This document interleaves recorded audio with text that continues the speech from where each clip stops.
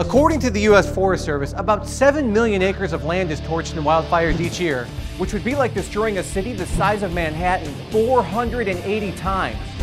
And the cost of damage for a single wildfire can easily reach $2 billion. And four out of five of those blazes are started by people. Luckily, there's not a lot of wildfires that break out each year. The US averages 100,000 wildfires a year. So, how do you destroy one of nature's most destructive forces? Simple.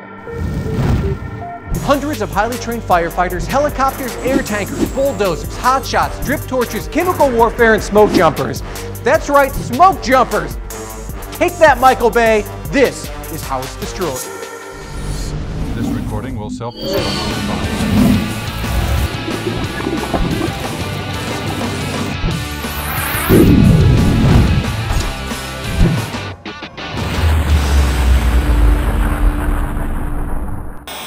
It's crazy to think a single spark can cause this.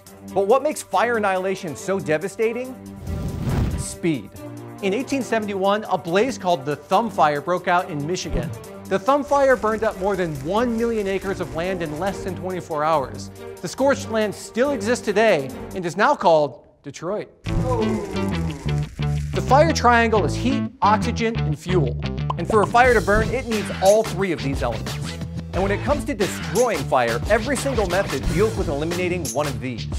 The air we breathe is about 21% oxygen, but all fire needs to burn is 16%. When the heat rises, the potential for wildfires skyrockets. But starting a fire is easy. Destroying one is a different story.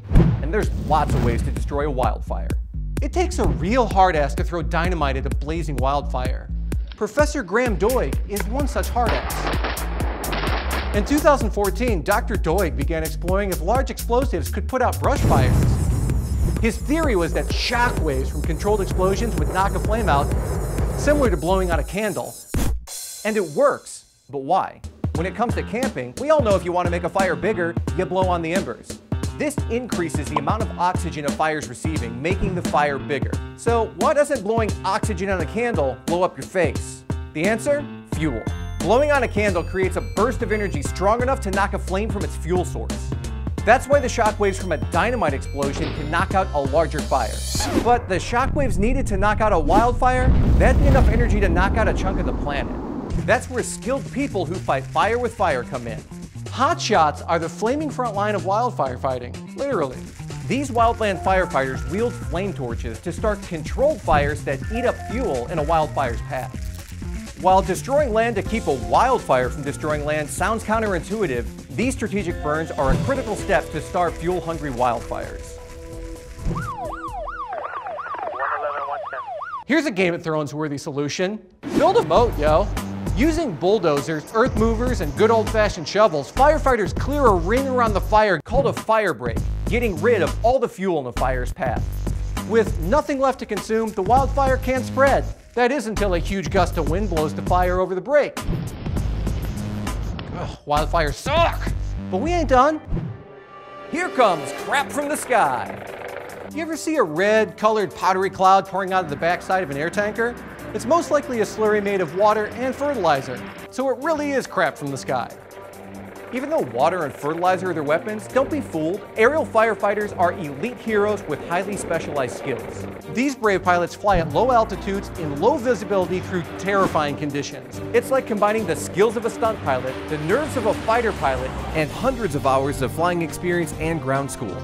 Pilots often have to fly 60 feet off the ground and hit their targets with pinpoint accuracy, moving about 140 miles per hour. That's a direct hit. And a single aircraft making countless trips fighting a wildfire can drop hundreds of thousands of gallons of water. All for the primary goal of reducing fire's heat and intensity. Aerial firefighters are just one part of the aerial attack on wildfires. There are people, highly skilled, highly trained, and brave as hell, that jump out of airplanes into the heart of the battle. One of the most extreme aerial firefighting positions is smoke jumping. And with less than 500 smoke jumpers in the entire United States, it's rarefied air. They're deployed in dangerous, combustible, and hard to reach areas to battle fires at the source and keep them from spreading.